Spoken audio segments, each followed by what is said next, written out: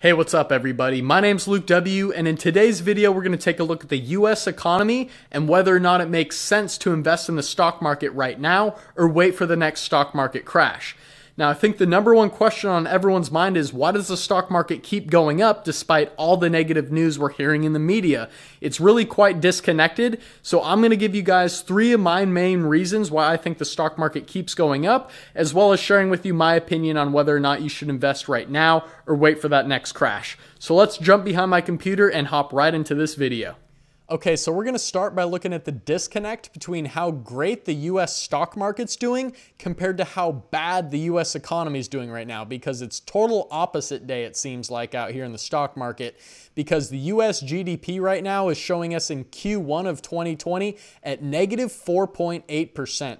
And that's actually exceeded what financial analysts thought it was gonna be they only thought it was going to be negative 4%. So it's actually exceeded that, and things are only looking like they're going to get worse. When we fast forward to quarter two, which is going to be in July and August of this year, financial analysts are estimating we're going to be at negative 17% on our GDP right now. So that's just absolutely horrific, which again shows how backwards is the economy if everyone thinks they need to put more and more money in, the stock market keeps going up.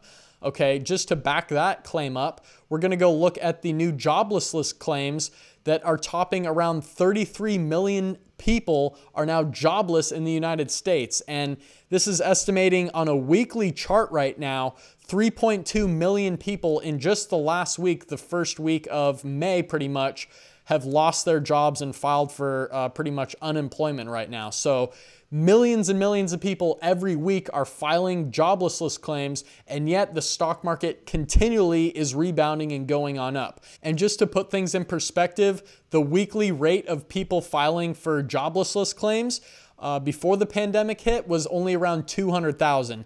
Now it was up here near 7 million, 6 million, 5 million. Every single week, millions and millions of people are filing for jobless claims. So all these people filing their jobless claims is only going to put more and more stress on the government to help these people and individuals, giving them government support, and that's going to be more and more cost to our government all in all. Now we can go look at the S&P 500 and here we go. We anticipated all the bad news. This is when the pandemic started happening. Everything just shot way down to the bottom. We hit negative 30.7% at the low during the pandemic and that literally dropped in a matter of a few weeks, guys. So that's when I actually put most of my money into the stock market and I was buying. I made another video where I said I invested here, here, and here. So I did get in at some really good times and I haven't really put a whole lot in as it's continually started to increase because I'm like, how is this even happening? None of this makes sense. I mean, we can go look at Warren Buffett, who just confirmed here six days ago in May that he just sold all of his stakes in the four largest airlines, including United, American, Southwest, and Delta Airlines, which had a net worth of around $4 billion. So, that was just absolutely insane. I saw my Delta Airline stock and Boeing stocks take a pretty big hit. But I mean, looking how the stock market's continually saying, who cares? Like, let's just keep going on up. It makes me skeptical to think, is there going to be a stock market crash part two? So I'm going to be on the lookout for that and I'm going to wait for some opportunities to come on and see what's going to happen there. But we can also look what is to come in the future. Scientists say COVID 19 might come back again soon in the fall and winter months. And on my personal opinion, I think when people are isolating themselves, staying away, staying out of the sunlight, not interacting with people, they're actually weakening their immune system. So by the time fall and winter come around, they're even going to be weaker and more susceptible to viruses and diseases. So that is kind of scary to think about. And we might be experiencing that stock market crash part two in the near future. So with all the bad news out of the way, I think it's time to share with you guys my three reasons why I think the stock market is increasing so much right now. And number one is actually, you can actually look at it as a negative as well, but it was when Trump signed the largest bailout in US history of $2 trillion to be set out as stimulus packages for people to hopefully keep the economy afloat. Now, you can look at that as a bad thing and a good thing a bad one in the sense that our money is now going to be worth a lot less. Like all the government's doing is printing and printing and printing dollars that are basically coming out of thin air, which is making the dollars we have in our hands right now worth less and less. So inflation's actually going to start hitting us a little bit and on an average of 1.8% in 2019 for inflation, we're looking at 2.2 to 2.3% inflation rates here in 2020. And who knows if those models are 100% accurate. With $2 trillion just getting printed out of thin air, our dollars are going to start to be worth less and less. And that leads me into kind of the news why I think maybe the stock market is actually increasing. And that's just because when you have a dollar amount sitting in your bank account, it's only losing its value over time due to inflation. As opposed to if you put it in the stock market, your money is now tied behind businesses and it's not just based on a dollar value, it's now based on your company's value that you're invested in. So I think that's a reason we're seeing number one, why we're seeing a lot of money getting flooded into the stock market right now, just because the inflation's coming. People want to throw their money in the stock market and hopefully have a little bit more value behind their dollar. And I can actually show you guys right here on my phone. Uh, pretty much my stocks have been doing really well. I'm up $2,000 right now, and it's just a straight green day. The market continually is starting to increase and go up and up in the Dow and the S&P and the Nasdaq. Everything is up uh, considerable percentages from where they really should be if we really factored in all this negative news. Another thing why I think the negative news uh, came so hard and so fast was that we thought, hey, this is going to be the end of it all. And once we hit the bottom, we were like, hey, well, we can't really factor in all that much more negative news. So the only thing to do now is for it to go up. Like we, we just plummeted 30% in a matter of a few weeks. So uh, I guess nothing really else can affect us. We've heard all the worst news we possibly could.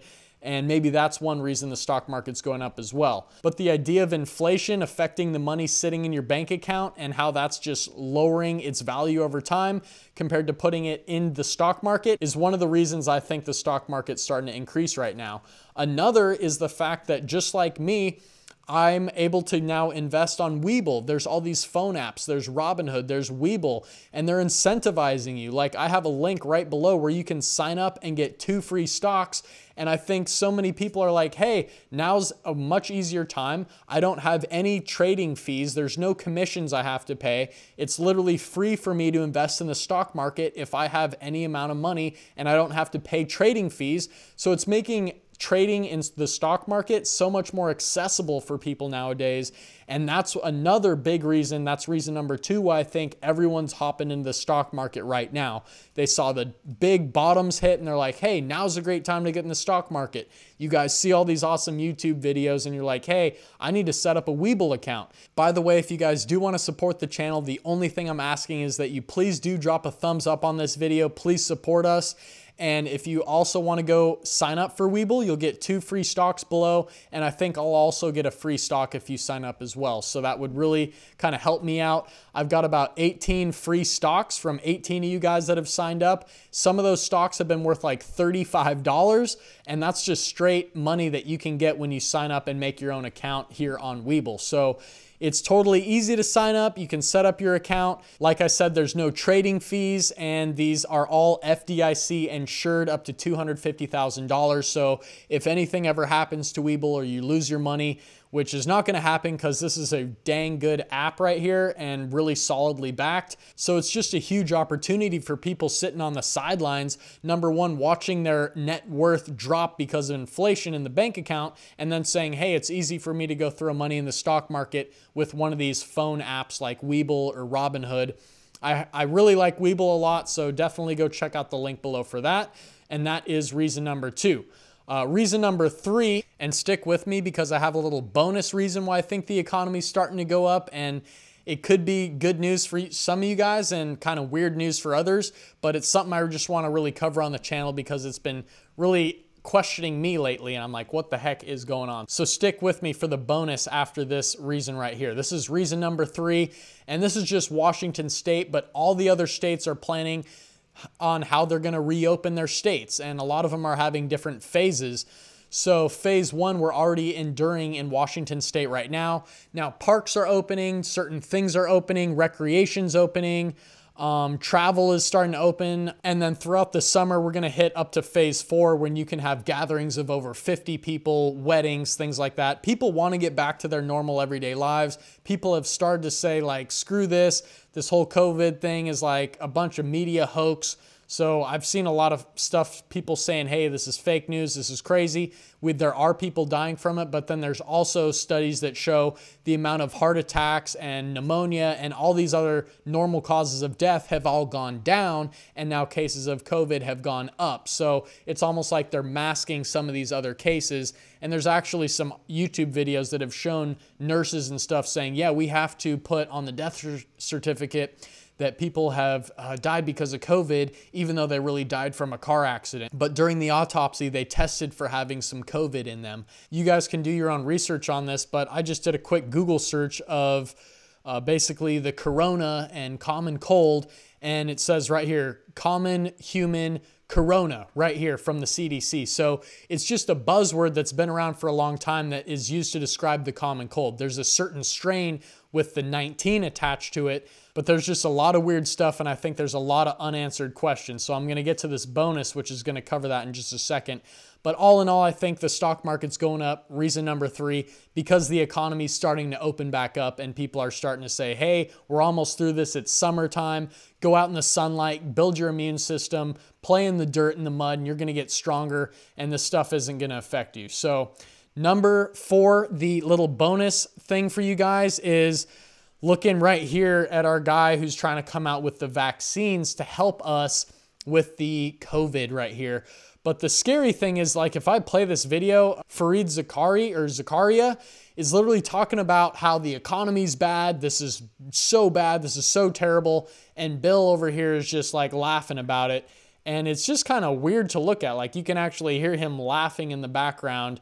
Um, and he's looking like the happiest guy on earth while Fareed's talking about the world shutting down and stuff like that. So when you go read any of the comments here and you just can judge by the dislikes what the majority of humans in the population are thinking right now, like fun fact, no one in this comment section is going to get vaccinated. So, but there's been talks of the agenda of Bill trying to push pretty much the population control things like that. So it's kind of crazy.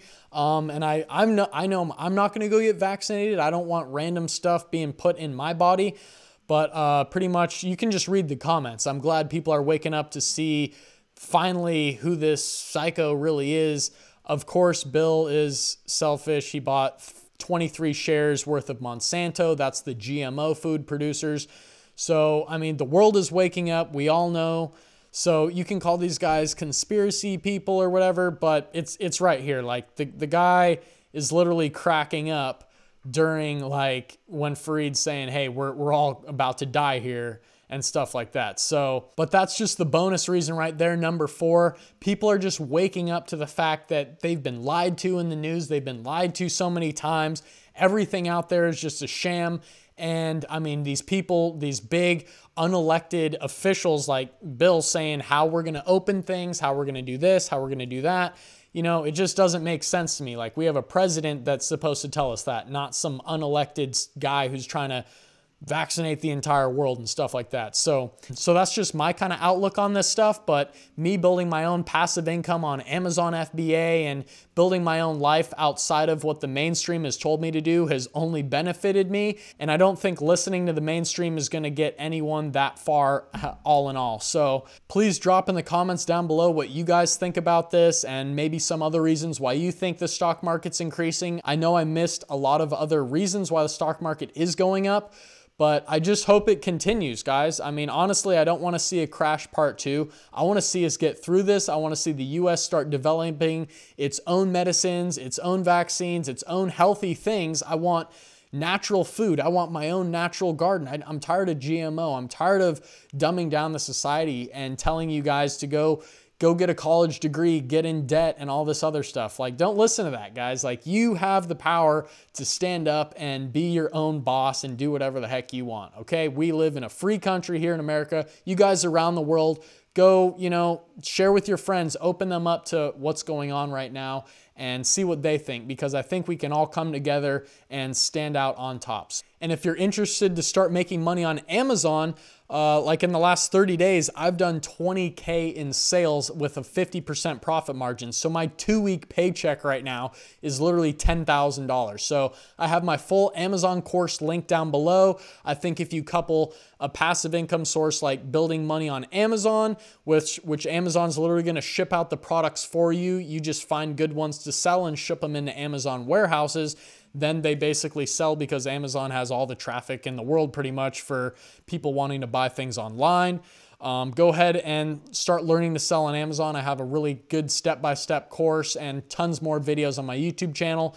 Thanks for watching this video. Again, please drop a thumbs up if you liked it. Drop comments down below what you think of all this. And I will have Webull down, down below so you can go get started investing in the stock market. But uh, yeah, I think it's up to you guys to do this. Take control, take power. It's your life. You deserve it. Thanks a lot. Peace out.